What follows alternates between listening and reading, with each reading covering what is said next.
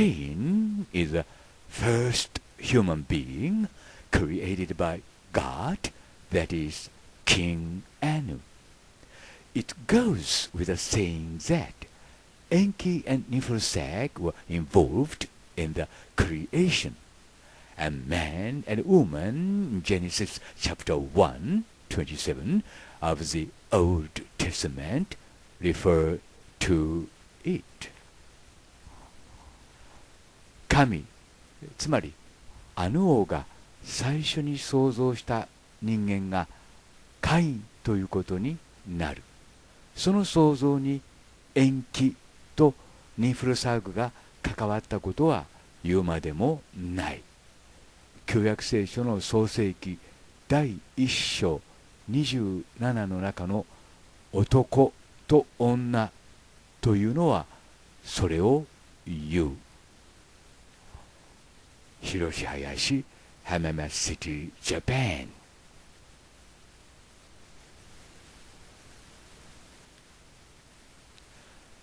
Genesis chapter 126.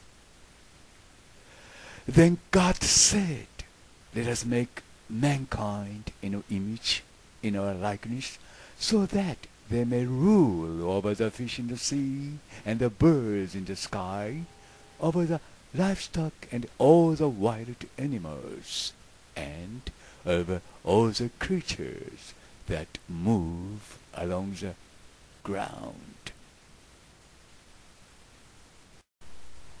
創世記第一章26神はまた言われた我々の形と我々にかたどって人を作りこれに海の魚と空の鳥と家畜と地のすべての獣と地のすべての這うものとを収めさせようと。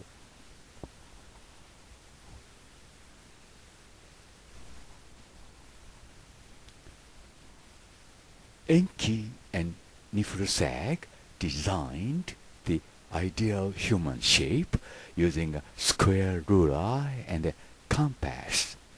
The blueprint of the human is a sketch picture entitled Vitruvian Man, allegedly drawn by Leonardo da Vinci. 延期とニーフルサーグは人間の理想形を直角定規とコンパスを使って設計したその設計図がレオナルド・ダ・ヴィンチが描いたとされるウィトル・ウィウスの男と題されたスケッチ画である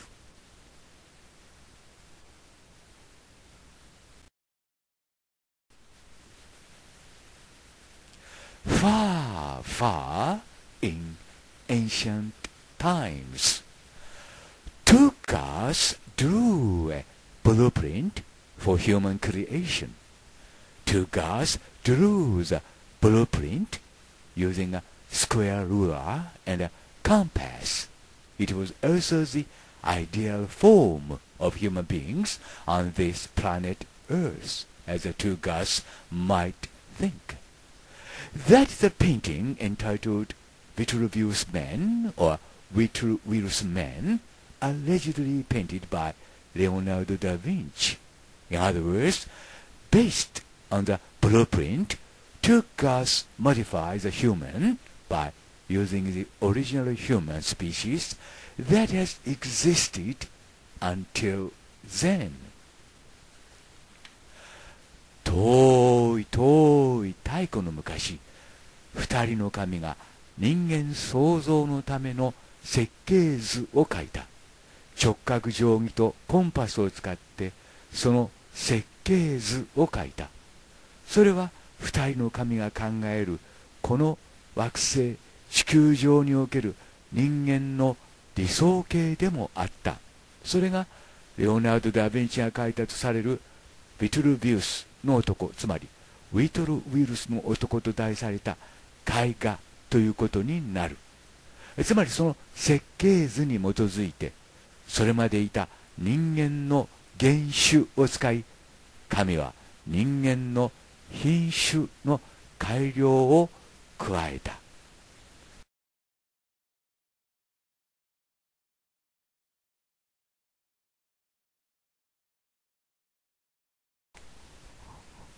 However, Cain is jealous and killed his younger brother Abel.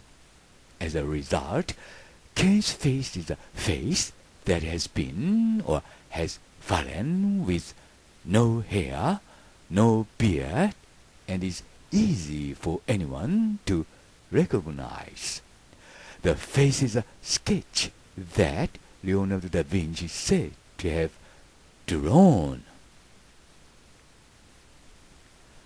が、そのケインは嫉妬に駆られて 弟のアベルを殺してしまう。その結果、カインは顔を落とされ、髪の毛、ひげのない誰が見てもすぐわかる顔にされてしまう。その顔がレオナルド・ダ・ヴィンチが書き残したと言われているスケッチ画である。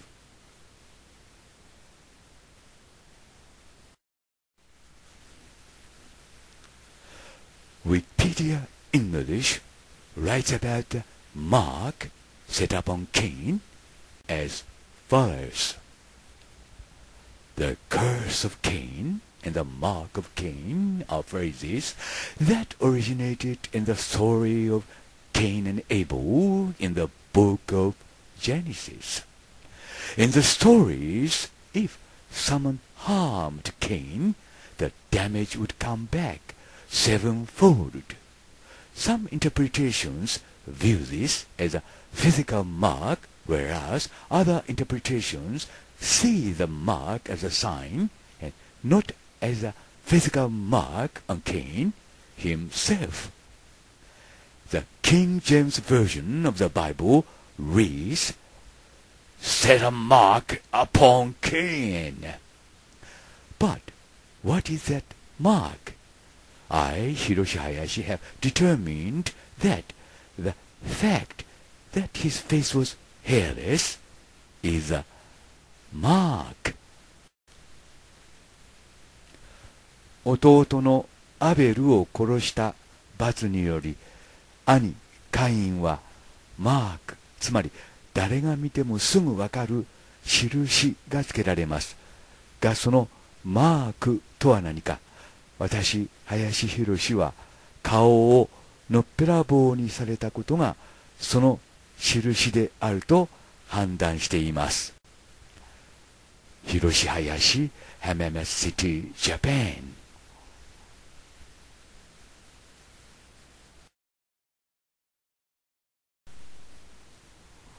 It also goes without saying that Cain repeatedly confessed to his confession and suffered his own sins. Cain struck his chest with a stone and confessed enough to make a hole in his chest. This is represented by a painting entitled Saint Jerome, which is said to have been drawn by Leonardo da Vinci. Cain が懺悔に懺悔を重ね自分の罪を苦しんだことは言うまでもない。カインは自分の胸に穴が開くほど石で自分の胸を打ち懺悔した。その様子を表したのがレオナルド・ダ・ヴィンチが書き残したと言われている聖ジェロームと題された絵である。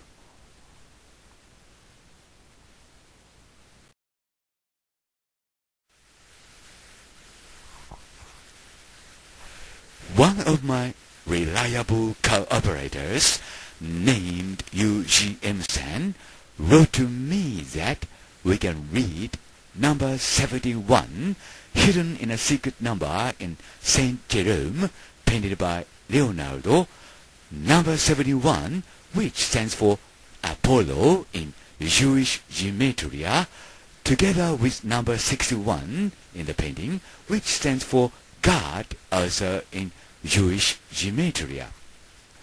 Today's video starts from here, and if number 71 is related more or less with God, it must be a striking discovery for human beings. With these two numbers, we can get a message from Jesus after 1500 years in the Renaissance that God is Apollo, or Apollo is God for humans. Whatever it is, let's examine it in this video, shall we? YUGM さんという方からダ・ヴィンチの書いた聖ジロームの絵の中に71という数字が読み取れるというコメントが届いています71はユダヤのゲマトリアではアポロアポロを意味しますその聖ジロームの絵の中にはもう一つ61という数字が隠し込まれていました。61は神を意味します。二つの数字をつなげると神はアポロである。とも読み取れますしアポロが人間の神である。とも読み取れます。今日の動画はここから始まりますが早速検証してみたいと思います。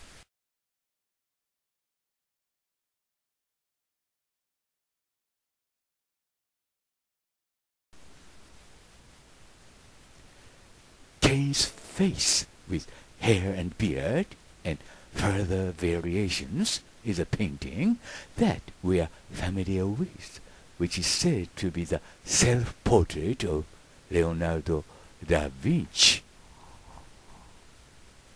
そのカインの顔に髪の毛とひげをつけ、さらにバリエーションを加えたのが現在私たちがよく知っているあのレオナルド・ダ・ヴィンチの自画像と言われている絵である。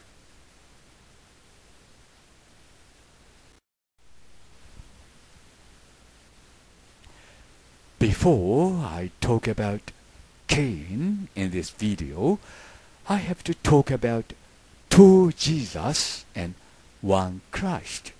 So, there were two Jesus. One is Shamash Jesus, and the other is Jesus, who was murdered on the cross as a replacement after Shama Jesus was killed by Inanna Maria, John the Baptist, and Judas the traitor. And apart from these two Jesus, there is King Christ, who is our Lord and Savior for us humans as a human salvation. In other words, the God we call Jesus Christ are two Jesus and one Christ for a total of three gods together. この動画の中でカインの話をする前に2人のイエスと1人のキリストについて説明しておかねばなりませんつまりイエスは2人いました。1人はシャマーシュイエス。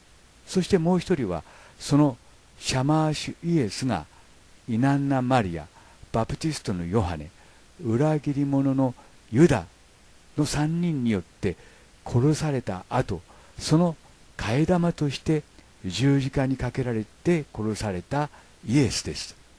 そしてこの2人のイエスとは別に人間の救済主として私たち人間の指導に当たっているその神がカイン・キリストということになります。つまり私たちがイエス・キリストと呼んでいる神は2人のイエスと繰り返します。2人のイエスと1人のキリスト。1人のキリスト。つまり合計3人の神を言います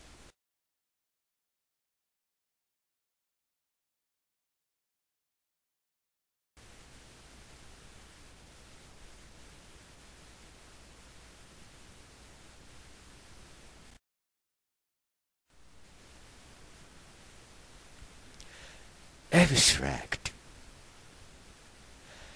King Christ descended during the medieval Renaissance. King Christ is also the greatest artist and gave us humans many messages by means of paintings. The person who handed over the work of King Christ spoke the name of Leonardo da Vinci, that is, the hander. The hander, or the delivery person, was believed to have given this masterpiece to the public, saying, This is a work drawn by an artist named Da Vinci. On the other hand, there was another hander or delivery person. That is Michelangelo Buonarroti. When he was given his works directly from King Christ, he gave them to the people as his own works. This is what I do. It seems that the people were surprised and impressed very much by these works of Da Vinci and Michelangelo. And, by the way, King Christ himself left behind his own self-portrait. With a big beard on King's face is a portrait that we now call Da Vinci's self-portrait. In other words, both Da Vinci's works and Michelangelo's works were originally drawn by King Christ. The proof and the evidence is that the works drawn by Da Vinci and the works drawn by Michelangelo are all the same, including their concept, though they differ in brush touches and brush strokes and painting touches. Please carefully compare these two works to each other. Da Vinci's works are on the left and Michelangelo's works are on the right. Just for example.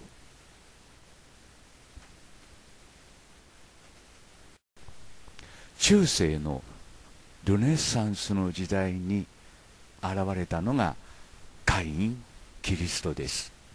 そのカイン・キリストは芸術家でもあり数多くのメッセージを絵画という手段を用いて私たち人間に残しました。そのカイン・キリストの作品を受け渡したのがダ・ヴィンチという名前を語るつまりは受け渡し人ということになります。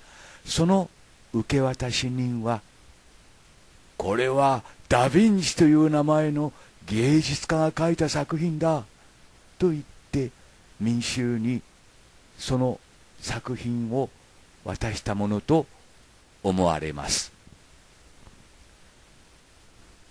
一方もう一人の受け渡し人がいました。それがミケランジェロ・ブアロノティです。彼はカイン・キリストから直接作品を渡されるとそれを自分の作品として民衆に渡していました。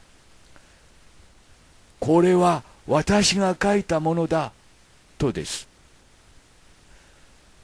こうして民衆はダ・ヴィンチやミケランジェロの作品を見て驚き感動したものと思われます。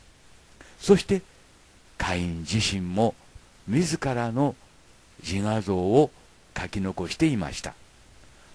そのカイン・キリストの顔に大きなひげをつけたのが現在私たちがダ・ヴィンチの自画像と呼んでいるその肖像画です。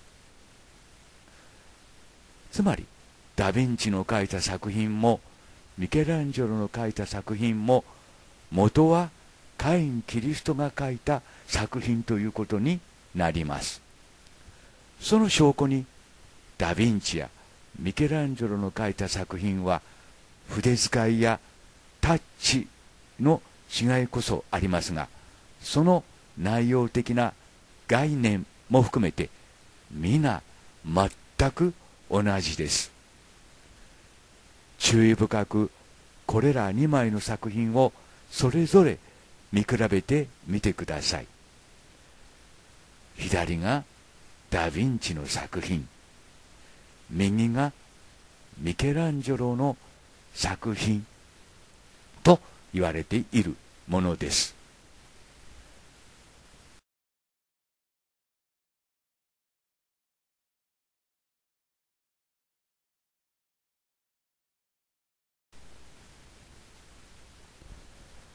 Jesus and Christ are two different gods.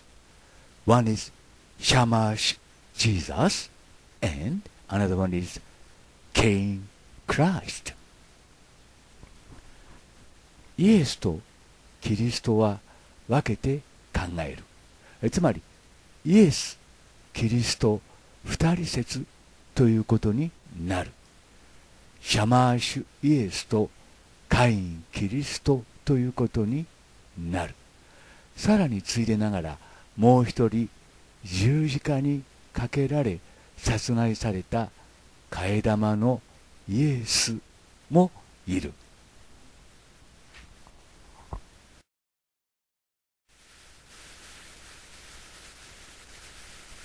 Ladies and gentlemen, it's my privilege that I can introduce all good men and all good women in this video to Jesus Theory by Hiroshi Hayashi. Two Jesus. One is Shemesh, who was murdered and crucified by Maria, and another one is Marduk, who was a replacement of crucified Jesus. Marduk, who has been our Lord and Savior for humans since then for over two millenniums or more. Here in this video, I would prove this fact with evidence led by Christ after 1500 years in the Renaissance. It may be a long story, but this video is a very essential one for humans to make sure of the existence of God. The existence itself is our hope to live. 林博のイエス二人説を紹介します。一人はマリアによって処刑され殺されたイエス・シャマーシュです。そしてもう一人はその後シャマーシュの代理として私たち人間を温かく守り育ててきたマルトゥックです。それをこの動画の中でキリストがルネサンスの時代に残した証拠を添えて証明します。長い動画になりますが神の実在を証明するためにはどうしても必要な動画と考えています。神の存在そのものが私たち人間には生きる希望となっているのです。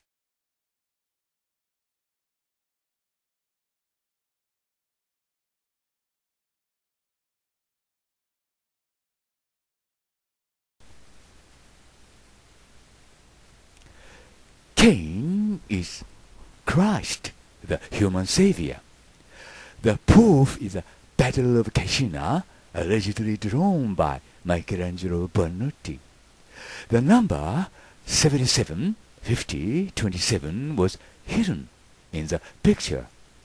77, 50, 27, when deciphered by Jewish gematria, is Christ is biblical Cain. そのカインが人間の救世主キリストであるその証拠が ミケランジェロ・バルヌティが書いたとされるカッシナの戦いと題された絵である。その絵の中には77、50、27という数字が隠し込まれていた。77、50、27はユダヤのゲマトリアで解読するとキリストは聖書でいうところのカインとなる。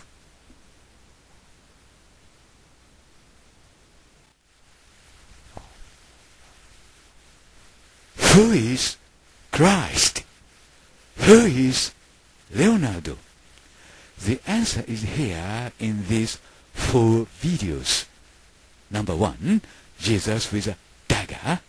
Number two, four children of Adam and Eve. Number three, nictitating membrane in Jesus.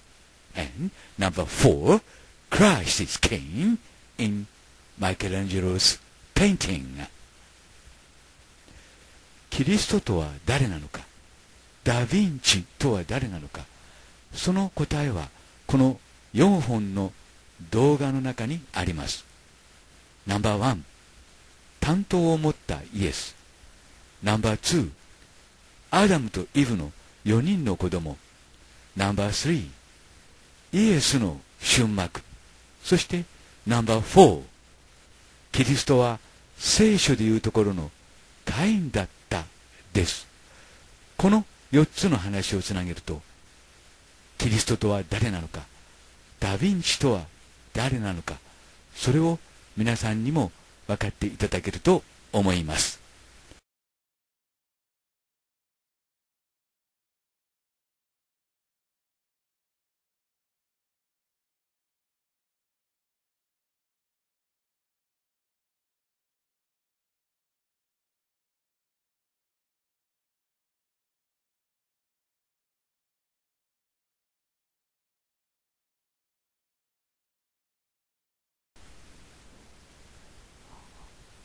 By then, Enki has been murdered by Enlil and his son Nergal.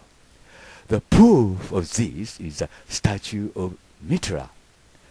Nergal used his pets, a scorpion, a snake, and a dog, to attack Enki, and finally Enlil decapitated Enki. その時までに 延期はエンリルとその息子のネルガルによって殺害される。その様子を表現したのがミトラ像ということになる。ネルガルは自分のペットのサソリヘビ犬を使って延期を攻撃し最後にエンリルが延期の首を切った。ギリシャ神話によれば神も死ぬことがあるという神も心臓をえぐられるかあるいは首を切られた時死ぬという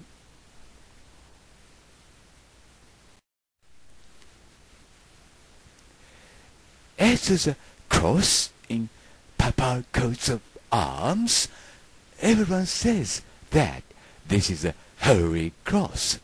But I, Hiroshi claim this is a sword. The first reason is that I have never seen such a pointed cross as this. Next, I judge that the H written here is an acronym for Halo. Halo means air, ink, Prometheus, or also known as Lucifer. That Herod was attacked by Enlil's son Nergal, by a scorpion, a snake, and a dog, and was killed by Enlil's sword stabbed into his neck. Then you might say that my interpretation of this is my overthinking. But I want you to wait for a while. If you watch this video, you understand why I think so. And you maybe would think this may be a sword, not the Holy cross.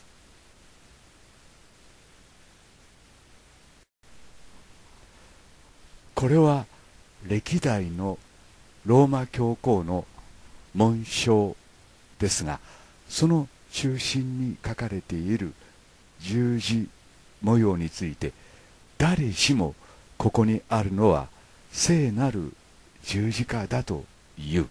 が私林博氏はこれは剣だという。その理由の第一は私はこのように先の尖った十字架を見たことがない。次にここに書いてある H はヘイレル。の頭文字と私は判断している。ヘイレルというのはつまりエア延期プロメテウスを言う。またの名をルシファー。そのヘイレルはエンリルの息子のネルガルにサソリ蛇犬によって攻撃され最後はエンリルによって剣で首を刺され命を落としている。あなたは私のこの解釈を考えすぎではないかと言うかもしれない。がそう思うのは少し待ってほしい。もしあなたがこの動画を見てくださればなぜ私がそのように思うかその理由を分かってもらえると思う。そしてあなたは多分こう思うようになるだろう。これは聖なる十字架ではなく剣かもしれないと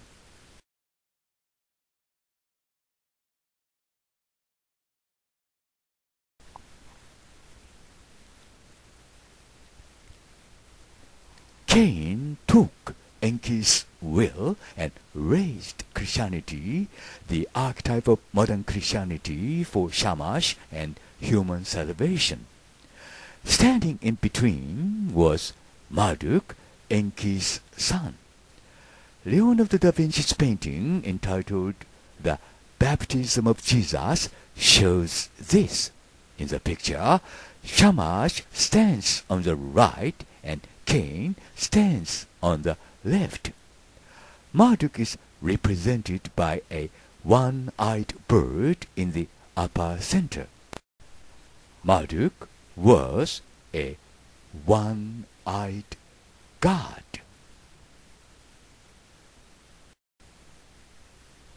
その会員は延期の意志を組みシャマー氏と人間救済のために現在のキリスト教の原型であるキリスト教を立ち上げるその間に立ったのが延期の息子のマルドゥックであるその様子を表したのがレオナルド・ダ・ヴィンチが描いたとされるイエスの洗礼と題された絵である。その絵の中で右に立つのがカイン。そして左中央に立つのがシャマーシュということになる。マルドゥックは中央上片目の鳥で表現されている。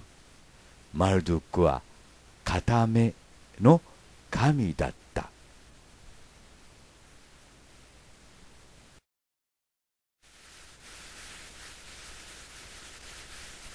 Ladies and gentlemen, it's my privilege that I can introduce all good men and all good women in this video to Jesus Theory by Hiroshi Hayashi.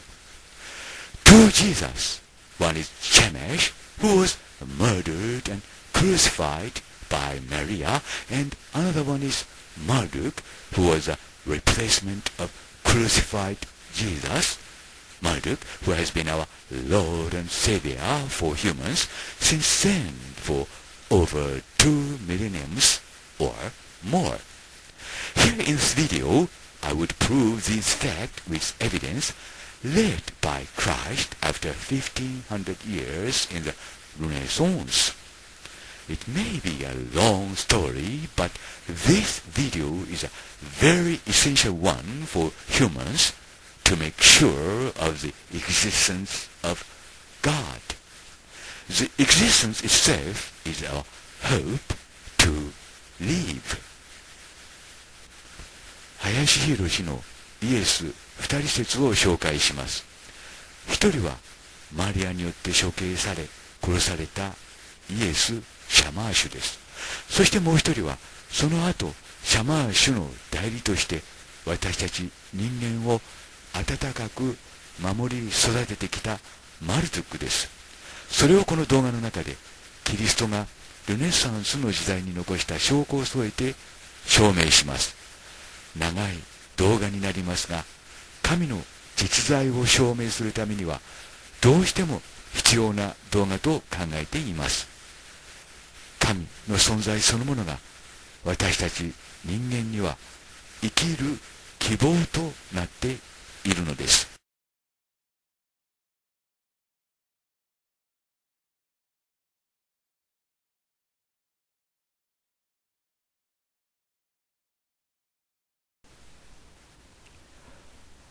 Shamash was also murdered by Enlil's granddaughter, Inanna. Michelangelo Bonotti's painting entitled The Entombment shows this. John the Baptist and Judas the traitor helped with the killing of Shamash Jesus. なお、シャマー氏もまた エンリルの孫娘のイナンナによって殺害される。その様子を表したのがミケランジェロ・ブラノティが描いたとされる「埋葬」と題された絵画である。その殺害に手を貸したのがバプティストのヨハネとそして裏切り者のユダである。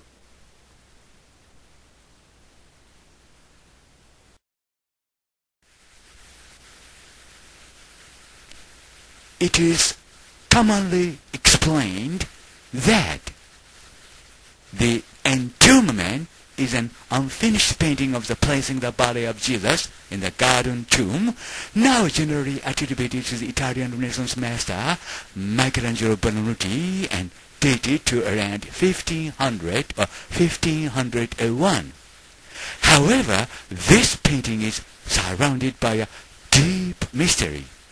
In fact, Nothing is, however, known about this painting, why it was abandoned unfinished on the way, and nothing has been explained about the blank monkey-like shape at the lower right corner.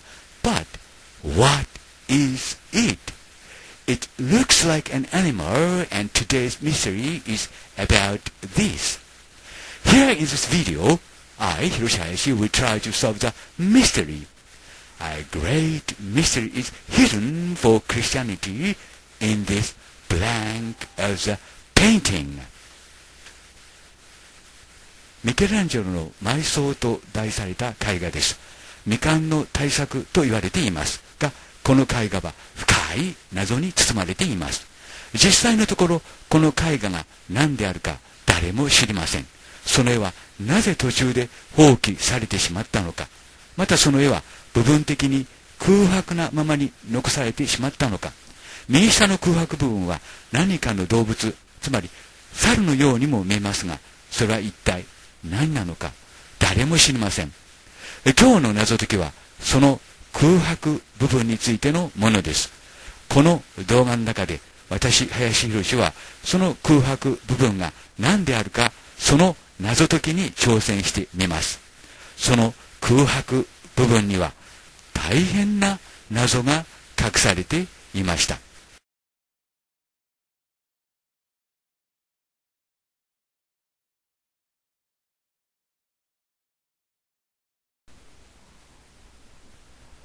The current Roman Catholic, that is a prototype of Mary's religion, was thus launched.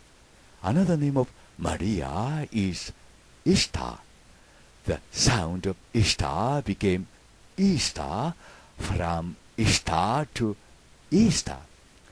That is why Easter is still the largest religious event in Mary's religion.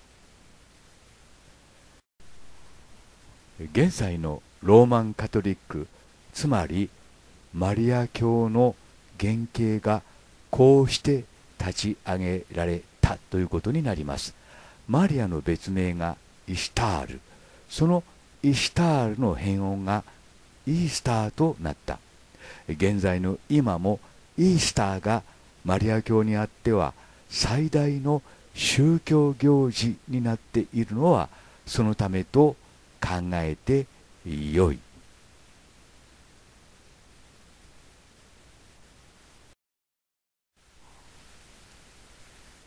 Wikipedia English writes that the Battle of Angari 1505 is a lost painting by Leonardo da Vinci, at times referred to as Lost Leonardo, which some commentators believe to be still hidden beneath one of the later frescoes in the Salon de Cinquecento, or Hall of the 500 in English, in the Palazzo Vecchio, Florence. Its central scene depicted four men riding raging war horses engaged in a battle for position of a standard at the Battle of Angari in 1440 or something something etc. I, Hiroshi Hayashi, however, have got quite a different view of the painting from this academic point of view in which I claim here that are hidden many secret messages are in a tricky art style, messages from Jesus Christ after 1500 years in the Renaissance. One of the messages is that there painted that Jesus is being killed under a horse with blood, which indicates that puppet Jesus or original Jesus was killed and Jesus was replaced with another God. Today's story starts from here, but the point is that why Jesus, after 1500 years, painted such a painting in which he stated he was killed. Why? I understand that there hidden a very important message in it to us humans like me. ダ・ヴィンチが原画を描いたとされるアンニャリの戦いの絵です。この絵の中にはルネサンスの時代に現れた1500年後のイエスによる無数の騙し絵隠し絵がメッセージの形で隠し込まれています。その中の一つが馬に踏みつけられ頭から血を流している替え玉イエスあるいはもともとのイエスです。今日の動画はここから始まりますがなぜ1500年後のイエスはこのような絵を描いたのでしょうか。言い換えると1500年後のイエスは自らが自分が殺されるシーンをその絵の中に隠し込んだということになります。謎が謎を呼びますが私はその中に1500年後のイエスから私たちに対する重大なメッセージがその中に書き込まれていると判断しています。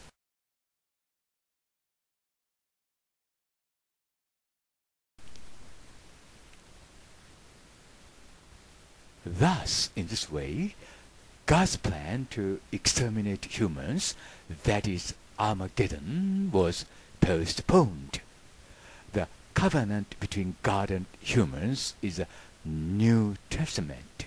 I don't know about that period, but it doesn't matter if someone say it's 1,000 years or 2,000 years. こうして神による人間絶滅計画。つまりハルマゲドンは猶予された。その神と人間の間の契約書が新約束聖書。つまり新約聖書ということになる。その猶予期間については私はわからないがそれが千年であっても2000年であってもおかしく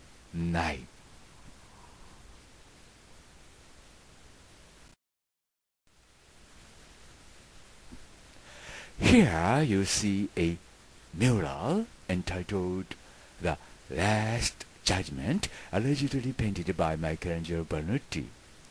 A god drawn in the center of this mural, and number 77 is written below him in human letters.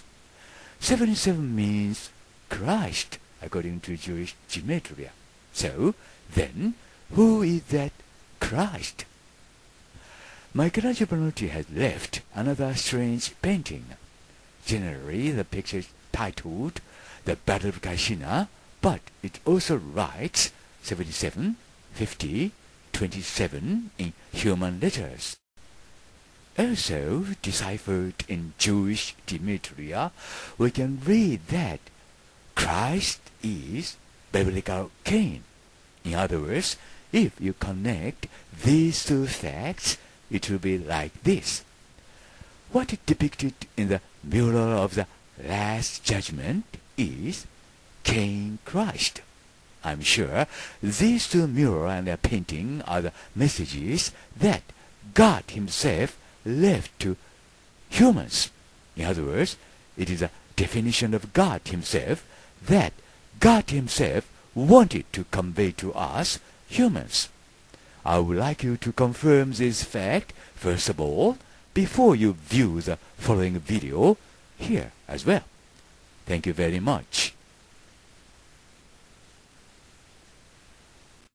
ミケランジェロ・バロヌティが描いたとされる最後の審判と題された壁画です。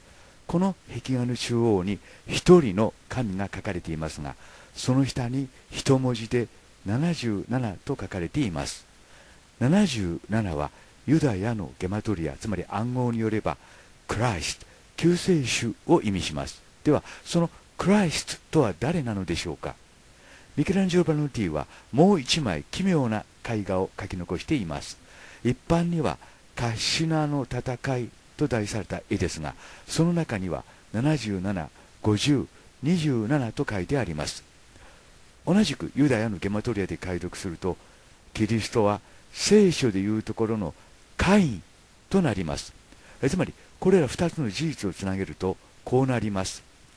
最後の審判の中に書かれているのは、キリストのカインですとです。繰り返します。キリストのカインですとです。これら2枚の壁画と絵画は神自身が人間に残したメッセージであると私、林博は考えています。つまり、神自身が人間に伝えた神自身の定義、神自身の定義ということになります。それを皆さんにもまずしっかりとここで確認しておいてほしいと私は思っています。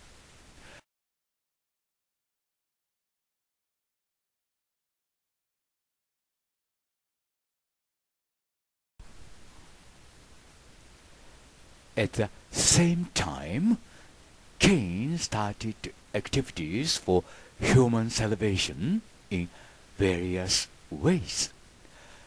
Michelangelo's Bellotti's painting entitled The Last Judgment, or as a matter of fact, it is a mirror of the Armageddon, is understood to have shown this. In the center of the mural is King Christ. The proof is that 7750 is drawn below him. In Jewish gematria, when deciphered, it can be read Cain in the Bible.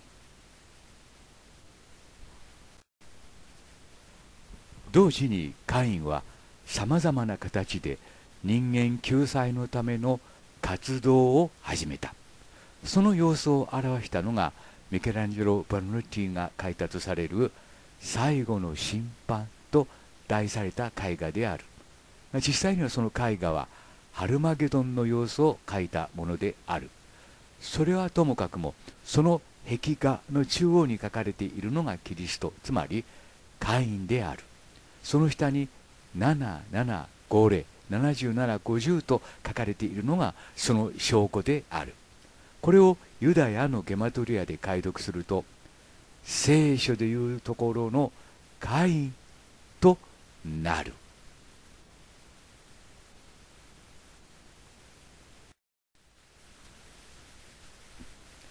Here you see a mural entitled The Last Judgment, allegedly painted by Michelangelo Bernucci.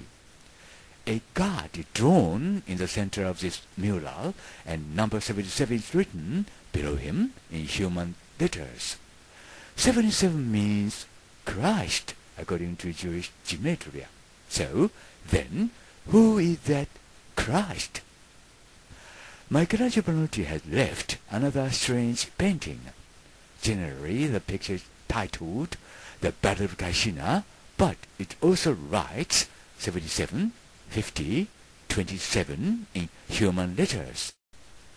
Also, deciphered in Jewish gematria, we can read that Christ is biblical Cain. In other words, if you connect these two facts, it will be like this. What is depicted in the mural of the Last Judgment is Cain Christ. I'm sure these two murals and their painting are the messages that God himself left to humans. In other words, it is a definition of God himself that God himself wanted to convey to us humans. I would like you to confirm this fact, first of all, before you view the following video here as well. Thank you very much.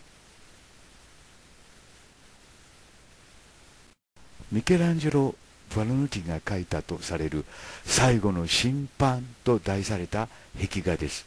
この壁画の中央に一人の神が書かれていますが、その下に一文字で77と書かれています。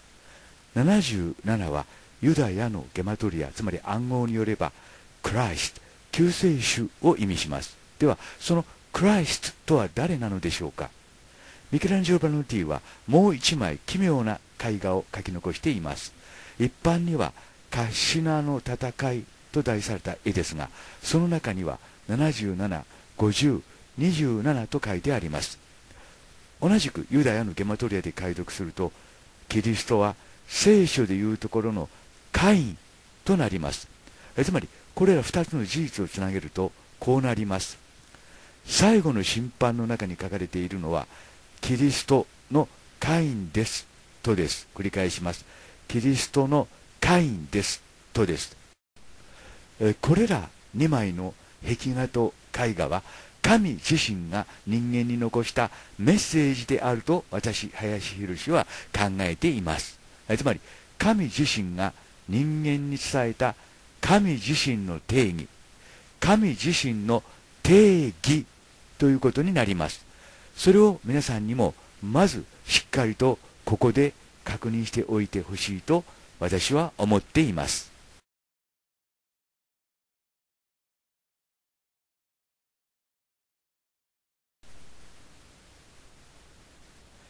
It should be noted that under Shamash, we must not forget about another hybrid human being who directly rescued human beings between God and human beings. That is, Shamash replacement, or a puppet or a man commonly referred to as Jesus of Nazareth, the man who was eventually crucified and killed. Is this the replacement of Jesus?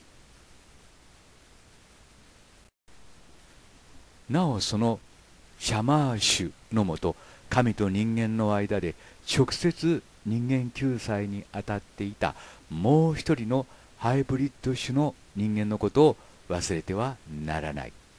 シャマー種の替え玉つまり操り人形一般にはナザレのイエスと呼ばれていた男ということになる。やがて十字架にかけられ殺された男がこのナザレのイエスということになる。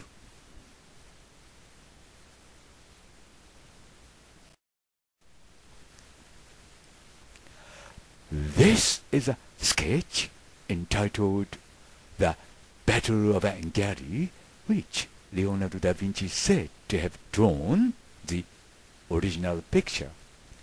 Under the sketch, a man is trampled on a horse and lies on his back.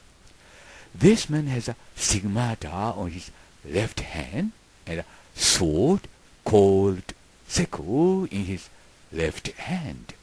Also, please note that this man has halo drawn around his head as a tricky art. これはレオナルド・ダ・ヴィンチがその原画を描いたとされるアンニャリの戦いと題されたスケッチ画です。このスケッチ画の下で一人の男性が馬に踏みつけられ仰向けに倒れています。この男性は左手に聖痕がありまたその左手にはセクと呼ばれる鎌型刀を手に持っています。またこの男性には隠し絵騙し絵として頭の周辺に降臨が描かれている点に注意してください。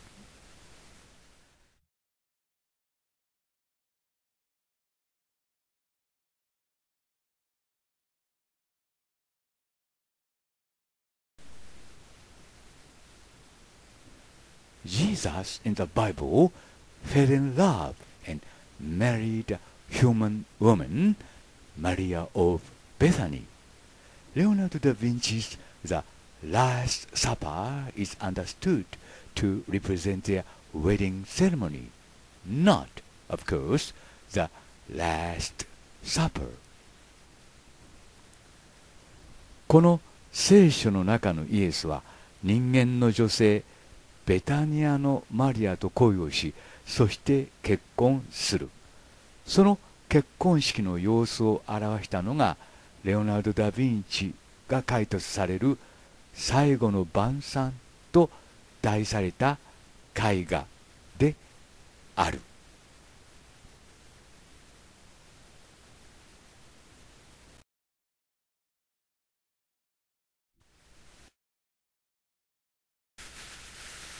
Luke chapter 10, 38.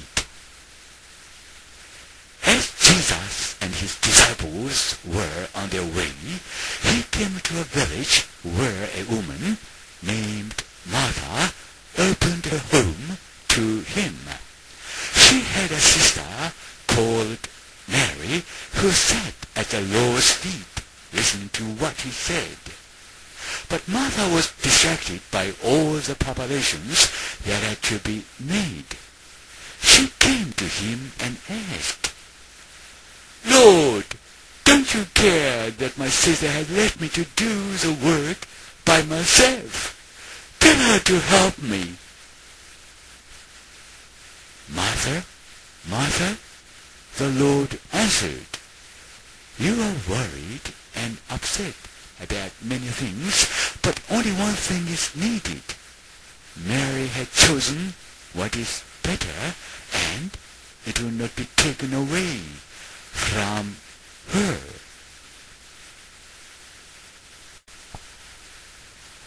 イエスと使徒たちは道の途中で一つの村へとやってきた。そこにマルタと呼ばれる女性がいて、イエスたち一行をドアを開けて中へ迎え入れた。マルタには一人の妹がいて、イエスの足元に座り、イエスの話に耳を傾けていた。が、マルタはマルタがしなければならない準備のため、心を煩わせていた。そこでマルタはイエスにこう言った。主よ、主よ、妹のマリアは私だけに全ての仕事をさせていますが、それでよいのでしょうか？マリアに行って私を手伝うように話してくださいと。それに答えてイエスはマルタよマルタあなたは心配し多くのことをしなければならず混乱していますが一つのことが必要です。マリアは自分にとってより良い方を選びました。そしてその一つのことをマリアから取り去ることはできませんと広島林浜松シティジャパン That is to say that Mary chose listening to the teachings of Jesus over helping her sister prepare food. Jesus responded that she was right Because only one thing is needed, one thing apparently, meaning listening to the teachings of Jesus. つまり、マリアはイエスの教えを聞くことを選び、彼女の姉のマルタが食事の用意をするのを手伝わなかったというのです。で、聖書の一般的な解釈によれば、ここで言う一つのことというのは、イエスの教えに耳を傾けることということになります。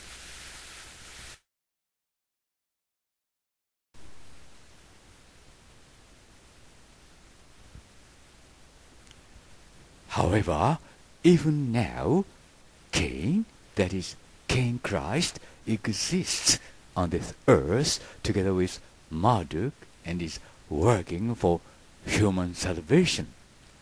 The expression of Marduk is a painting entitled Salvator Mundi, that is, the Savior of the World, which is said to have been drawn by Leonardo da Vinci. However, Marduk is a dragon god. He is not human. Dragon god is skillfully hidden in the picture in the form of a deception picture.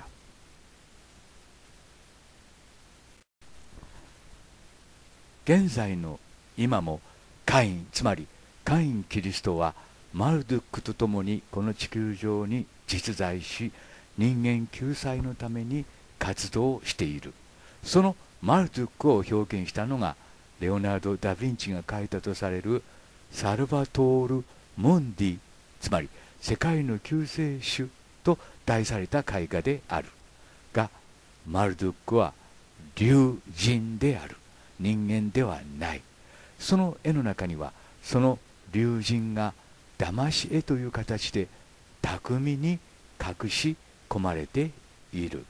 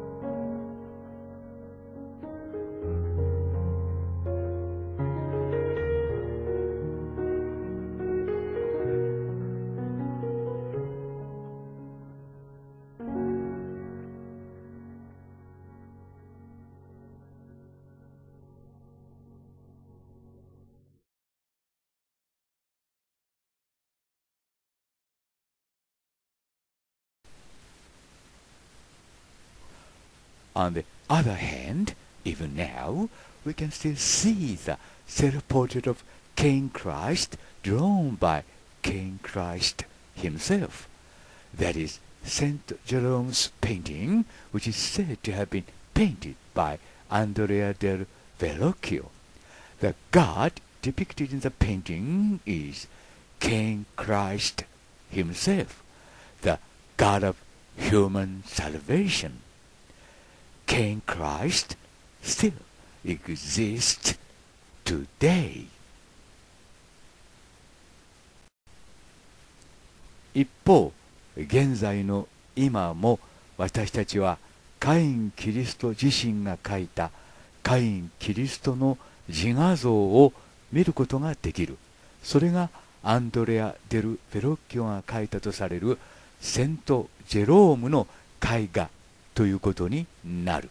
その絵画に表現されている神こそが私たちが人間救世主の神カイン・キリスト自身ということになるカイン・キリストは現在の今も実在する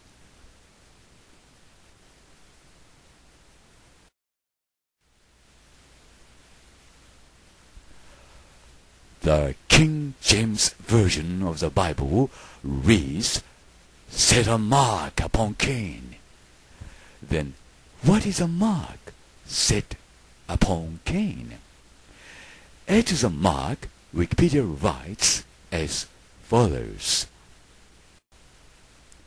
The curse of Cain and the mark of Cain are phrases that originated in the story of Adam and Eve in the Hebrew Bible. In the stories, if someone did something to harm Cain, the damage would come back sevenfold. Some interpretations view this as a physical mark, whereas other interpretations see the mark as a sign and not as a physical marking on Cain himself. Genesis chapter 4 6. And the Lord said to Cain, Why are you incensed? And why is your face fallen? For whether you offer well, or whether you do not, as a tent flap encroaches, and for you is its longing, but you rule over it. カインとアベル。弟のアベルに嫉妬し弟のアベルを殺したカイン。そのカインは罰として顔にマークをつけられます。がそのマークとは何か。創世記第4章には次のようにあります。Why is your face fallen? と。つまりなぜあなたの顔は落とされてしまったのかと。でここで言う落とされたとはどういう意味なのか。それはさておきこの一節がさらに重大な謎解きの鍵となりました。つまりイエス・キリストの謎を解く重大な鍵がその一節の中に隠されていました。広島市浜松シティジャパン When God judged For the murder of Abel, he became fearful for his life. The Bible speaks of God putting a mark on Cain to protect him from others. And the Lord said to him, Therefore, whoever kills Cain, vengeance shall be taken on him sevenfold. And the Lord set a mark on Cain, lest anyone finding him should kill him. 弟のアベルを殺したカイン。そのためカインは恐ろしい復讐に遭う危険性があった。旧約聖書によれば神はカインを他の神々からカインを守るためカインにマークつまり印をつけた。That is to say that? God's mark of protection on Cain was to help provide for his safety. However, it did not prevent Cain from being attacked or murdered. The mark merely warned that anyone who killed Cain would himself suffer a worse death. 旧約聖書はこう書いている。カインを殺す者はその 7倍の復讐を受けると。その印によってカインは守られたが、ではその印とは何か。誰が見てもすぐわかる印とは何か。Wikipedia English writes that the curse of Cain and the mark of Cain are phrases that originated in the story of Adam and Eve in the Jewish and Christian Bibles. In the stories, if someone did something to harm Cain, the damage would come back sevenfold. カインの呪いとカインの印というのはユダヤ及び キリスト教の聖書の中に出てくるアダムとイブの物語に基づく言葉である。その物語の中では誰かがカインに対して何か害を与えるようなことがあるとその7倍の被害を被るという。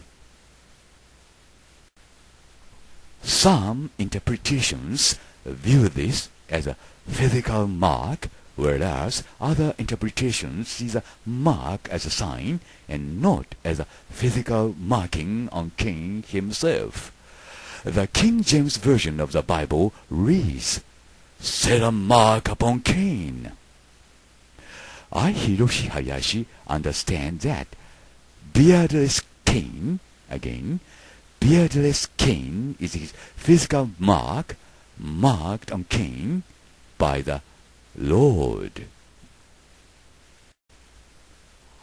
ここで言うマーク、つまり印について肉体的な印であると見ている人もいるが、その印についてカイン自身につけられた肉体的な印ではない印と見ている人もいる。例えば、キング・ジェームズ版の聖書によれば、カインの上にセットされた印となっている。私、林博は、髭のない顔こそが、主によって会員につけられたマーク、つまり印と判断しています。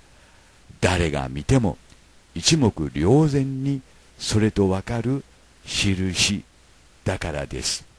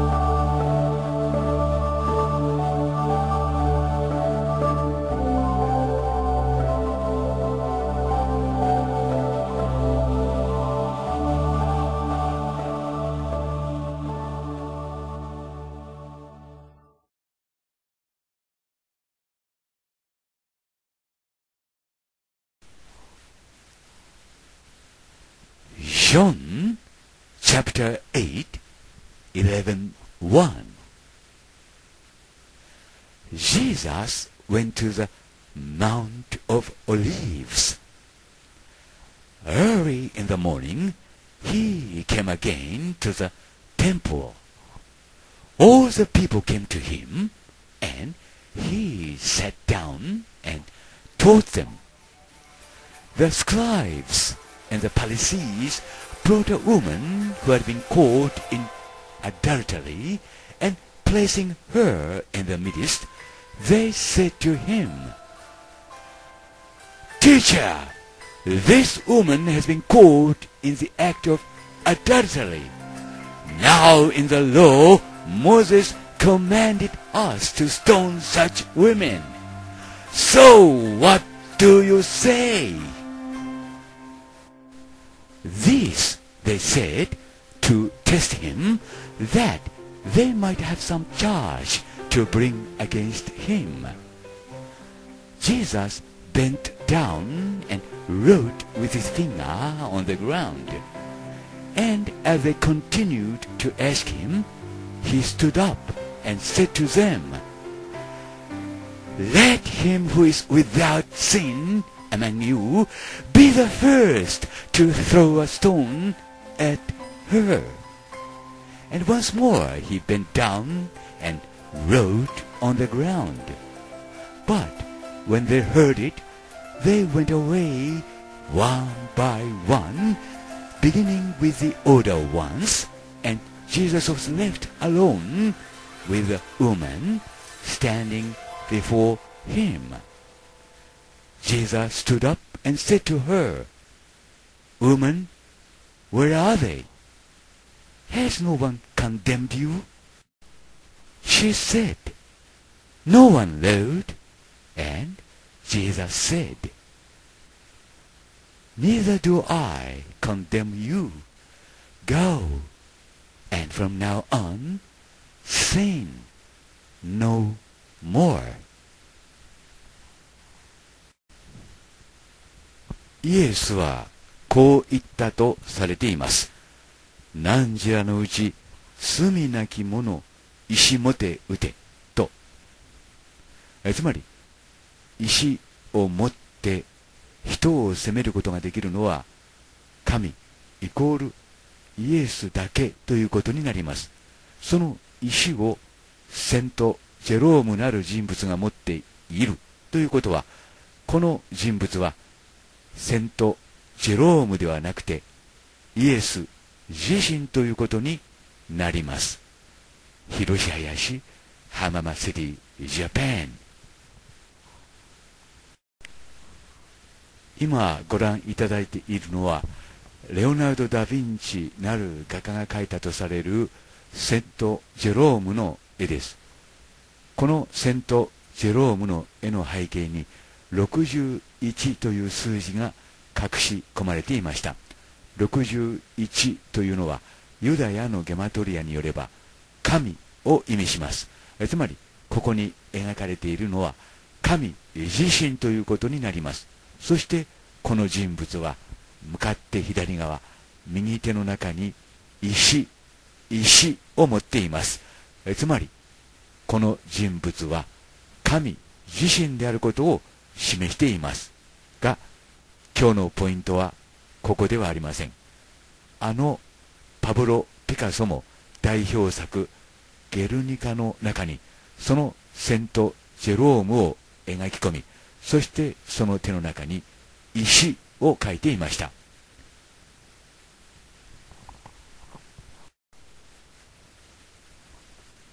パブロ・ピカソの代表作それがゲルニカです。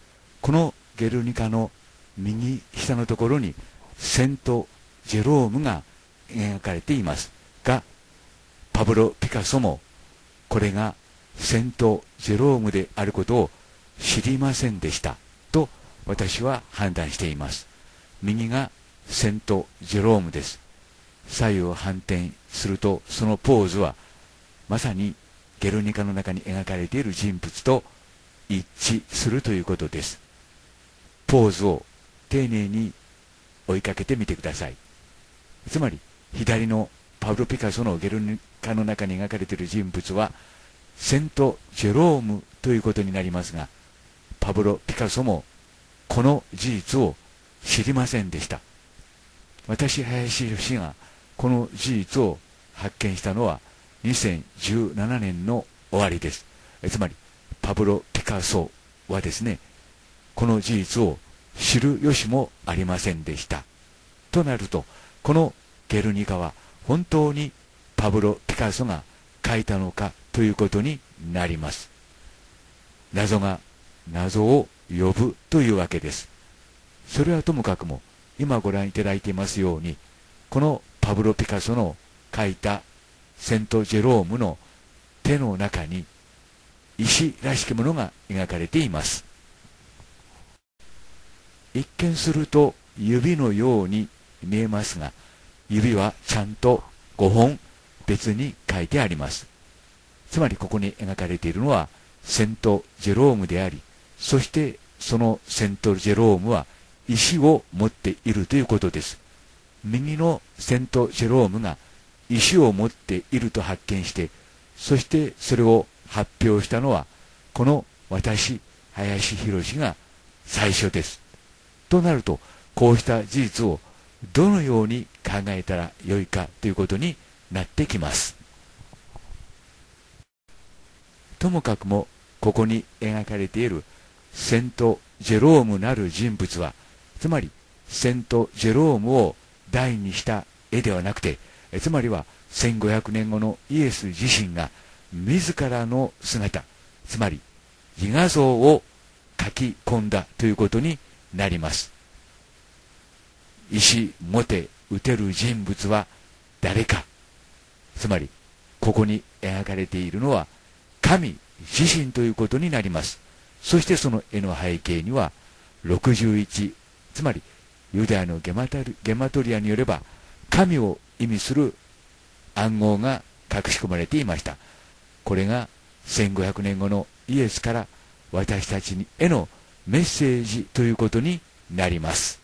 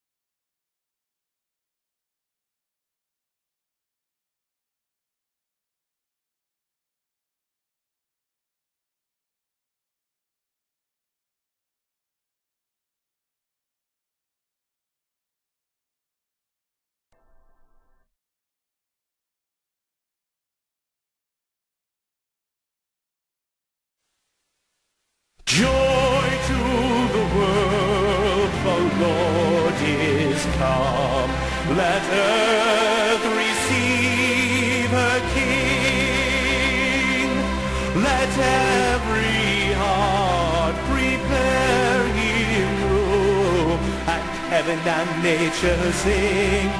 And heaven and nature sing.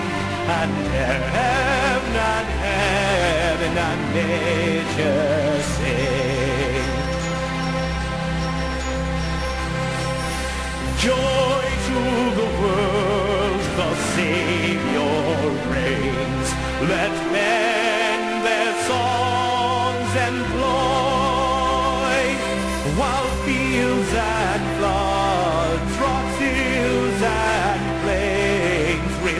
the sounding joy, repeat the sounding joy, repeat, repeat the sounding joy. No more let sins and sorrows grow, no thorns infest the ground. To make his blessings flow, for as the curse is found, for as the curse is found, for as for as the curse is found. He rules the world